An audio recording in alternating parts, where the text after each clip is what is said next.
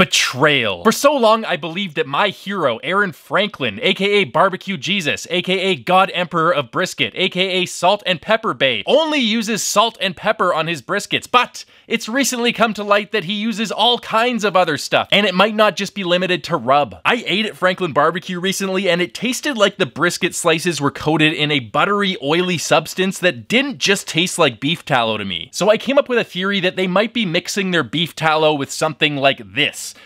a butter blend, or something like this, which is a butter substitute. Is this theory confirmed, convincing, or just plain crazy? That's what we're gonna find out in this video, so Let's get smoking. Franklin Barbecue makes some of the best brisket in the world, and when I ate there, it did not disappoint. If you're a barbecue aficionado, it's almost like a rite of passage to go there and experience the camaraderie of the line and the amazing food. When I went there, I had a feeling I really hadn't had since I was a kid. It almost felt like going to Disneyland for the first time. I was excited, I was nervous, I was starstruck, I was awestruck. Keep in mind, I'm such a fan that years ago I built a scale model of Franklin Barbecue complete with little people in the lineup. So believe me when I say that it's very hard for me to be critical of anything that Aaron Franklin or Franklin Barbecue does. But I have a stronger obsession, something that overshadows my fanboyism and my unhealthy fascination with Aaron Franklin. I am possessed of a single minded preoccupation to make the best brisket possible a bucket brisket, if you will. A brisket of such beauty and excellence and perfection that I will never be able to duplicate it again, and it will steal the joy out of cooking from me because I will never again be able to equal it. So, every time I cook at home or I eat at a barbecue restaurant, I tend to be pretty critical of the brisket. I pick them apart for things that I like, things that I don't like, things that I want to take home to use on my briskets so I can improve my craft. I turned those finely tuned critical skills towards my hero's brisket on that fateful day, and I made a couple of videos about my impressions on it. But the most interesting thing that I found is that the brisket appeared to be coated in some kind of oily or buttery substance that was something in addition to just straight tallow. Now, for those of you who don't know, it's popular to add beef tallow when wrapping a brisket. And once it's unwrapped, you take the tallow on the cutting board and coat the slices in it. It makes the brisket look and taste juicier, even if it's overcooked and dry. And of course, fat is flavor, so it just makes it taste way better. It's pretty well accepted that Franklin Barbecue uses beef tallow when they wrap their briskets, so I expected that, but look, I've cooked hundreds of briskets before, and I know what beef tallow tastes like. It's very thick in terms of mouthfeel. It has a very beefy flavor, and the oily substance slash tallow mixture coating the Franklin brisket was the opposite of that. It was very thin in mouthfeel. It was thin and oily instead of thick. It was salty, and it was also not as beefy as I'm used to. It was very neutral in flavor, like a neutral oil. At first, I thought they were just adding something like just straight soybean oil to their tallow and mixing that together in some sort of ratio.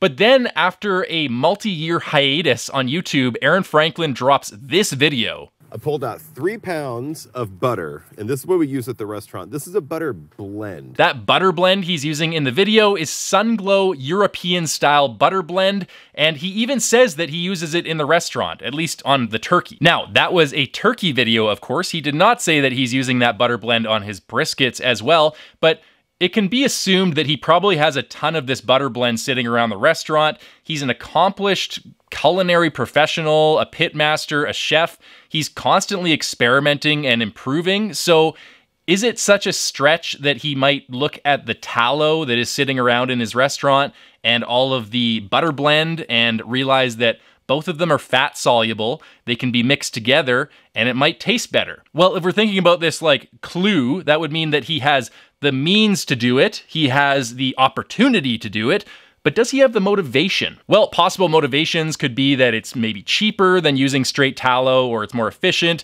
but I think that the number one motivation would be that it tastes better. So that's a big question in my mind. Does it make the brisket taste better? So I set out to test that with two choice briskets. For the first one, I prepared a mixture of half tallow and half this. It's a butter blend from Canada because I live in Canada and I can't get the Sunglow stuff where I live. I heated it up on the stove to remove the milk solids and then I turned it into clarified butter blend. If you just heat it until the solids separate on the top and the bottom, then it creates a pretty neutral tasting clarified blend. And if you heat it longer, it starts to take on kind of nutty flavors, and eventually the butter solids caramelize and it tastes kind of like salted caramel. Lots of versatility and opportunity to experiment, but for this video, I just went with the basic neutral tasting clarified butter. I then wrapped the briskets with my 50-50 tallow clarified butter blend mixture, and I let it hold at 150 for 15 hours to finish it. Now, moving on to the second brisket, the butter blend that I used in this video is canola oil based, but the Sunglow butter blend that Aaron Franklin used in his video and that he uses in the restaurant is soybean oil based, which is a pretty big difference in terms of flavor profile. So to get closer to that flavor profile, I got this. This is Phase Oil. It's a liquid butter alternative that's used by restaurants, and most importantly, it's soybean oil based and made by the same company that makes the Sunglow European blend. So I figured it would be a closer proxy for the flavor profile of the Sunglow. I mixed half tallow with half phase oil and I wrapped the second brisket in it. I then let the brisket hold for 15 hours at 150 to finish. Then I got ready to taste test both briskets, starting with the tallow butter blend mixture brisket. Okay, this is the brisket that was wrapped with the clarified butter blend and the tallow 50-50 mixture. I'm really excited about this because this is kind of the culmination of a lot of experimentation I've done. And I'm really hoping this tastes really close to the Franklin brisket I had when I was in Austin.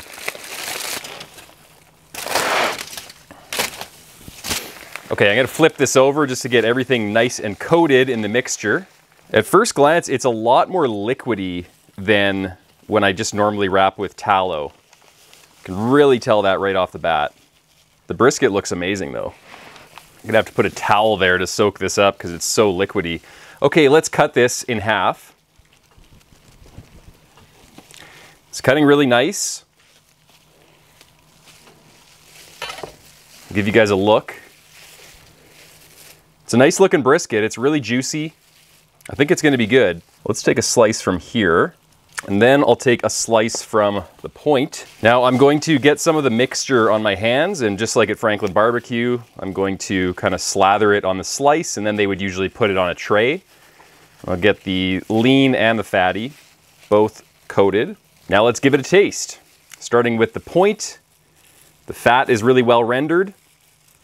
Okay, so the first thing that I noticed when I tasted this is it's not very oily. Usually when I use tallow to wrap my briskets, there's a lot of fat on the cutting board and there's not much here. It looks more watery and it looks like the juices from the brisket. Maybe the butter blend tallow mixture got into the foil and then went into my holding chest. I'm not quite sure, but it just doesn't seem like there's a lot of fat in here. So I'm just gonna take some straight butter blend from uh, the source here. This is the 50-50 mixture of, of butter blend, clarified butter blend, and tallow.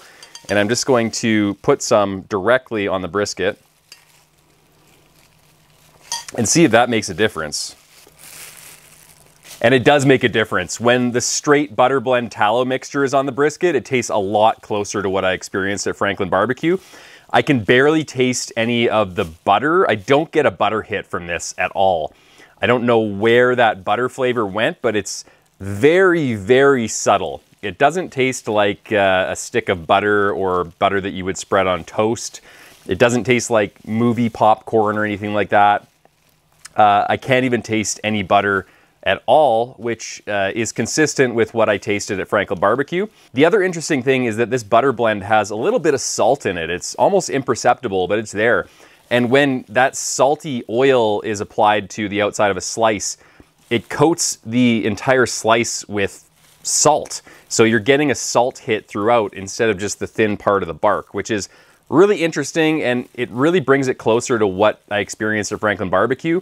But it's tough to tell. It could just be tallow mixed with salt that they're using at Franklin Barbecue, or it could just be straight tallow. What I'm interested to try now is whether the phase oil mixed with the tallow tastes any closer to the Franklin barbecue brisket that I tried. Okay, here is the brisket with the 50-50 tallow and phase oil mixture. Again, I'm gonna flip it over and now we'll unwrap it. There's a lot more oil in this one. I can tell it's not as liquidy. This looks way closer to the juice that was coming off of the butcher paper when I went to Franklin Barbecue. So this makes me think that the butter blend tallow mixture in the previous brisket, some of that oil could have just escaped into the, the holding chest for some reason. It might have been a hole in the foil or something. Okay, let's take a cut into this brisket.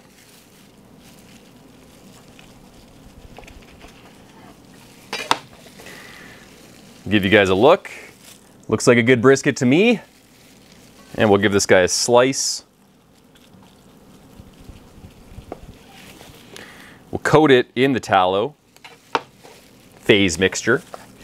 And I'll get a slice of the flat as well. All right. All right, first up, let's try the point. Looks juicy, looks really good. Pulls apart really easily. Mmm. Oh yeah. That's the best bite of brisket I've had out of these two briskets. Again, it's buttery. The phase oil is buttery when you taste it by itself, but when it's mixed with the tallow and it's mixed with all these other flavors, you don't really get a big butter hit, which is interesting. The mouthfeel is a lot thinner, which is consistent with what I tasted at Franklin Barbecue. A lot thinner than tallow. Mmm. Mmm. And it's that extra hit of salt in the phase oil. The phase oil by itself is just a little bit salty. And it just gives the entire brisket this consistent salty taste, which I think really launches it into a new realm of flavor. New realm of flavor? What am I talking about? It makes it taste better. Okay, let's taste the flat here. That's really freaking tasty. Something about just the combination of the Wagyu tallow plus the phase oil that has kind of a little bit of a butter flavor it's got other oils in it. It tastes more like a restaurant flavor of oil than just straight beefy, ultra beefy beef tallow. It tastes a lot closer to what I experienced at Franklin Barbecue than just straight tallow.